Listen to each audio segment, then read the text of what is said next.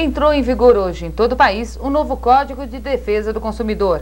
A nova lei vai proteger o consumidor dos abusos cometidos pelas indústrias e revendedores e vai modificar em muito a vida nas empresas. A Lei 8.078, aprovada pelo Congresso e sancionada pelo presidente Collor em setembro do ano passado, faz valer a partir de hoje o Código de Defesa do Consumidor.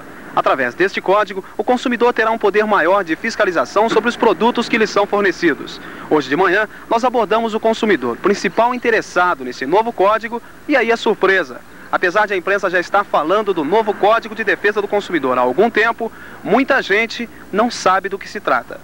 Você sabe o que é Código de Defesa do Consumidor? Não. Você não tem informação ainda? Ainda não. Ah, não sei. Senhora não tem informação sobre isso ainda? Eu não tenho informação ainda. Ah, até agora não tenho, assim, conhecimento de nada. O senhor está sabendo que o código entra em vigor hoje? Ainda não. Alguns até confundem o Código de Defesa do Consumidor com o congelamento de preços. Eu tenho dúvida desse funcionamento. Porque é impossível o congelamento funcionar, porque a história nos ensina que em país nenhum do mundo o congelamento deu certo. E diante de tanta desinformação, nós procuramos a curadora de defesa do consumidor, promotora Gilda de Abreu. A promotora é a representante do novo código na cidade. Ela explica como o código funciona e como devem ser feitas as denúncias, mas já admite que alguns pontos têm que ser revistos. A curadora citou, por exemplo, o artigo 8 do texto.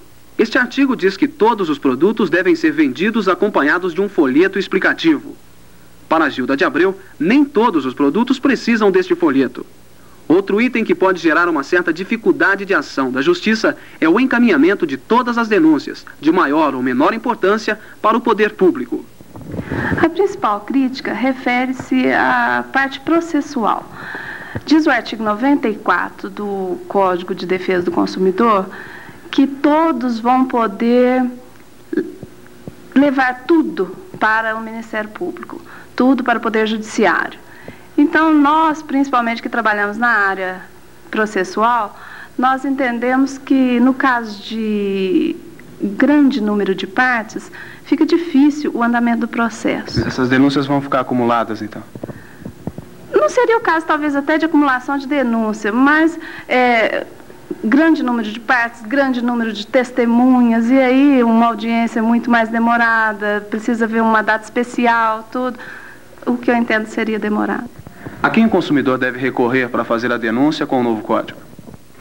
Para fazer a denúncia com o novo código, ele deveria recorrer ou ao Ministério Público, ou então, assim, no caso onde tem SUNAB, é, aqueles órgãos designados pelo governo. Né? Mas acaba, aqui em Posto de Caldas, por exemplo, trazendo tudo ao conhecimento do Ministério Público. Mesmo tendo uma proteção maior com a criação deste código, o consumidor deve ter o cuidado de não utilizar sem razão as facilidades deste novo mecanismo de defesa, acusando o comerciante de um crime que ele não cometeu. Em casos extremos, a Justiça, com base no Código Penal, pode punir o consumidor com reclusão de 2 a 8 anos.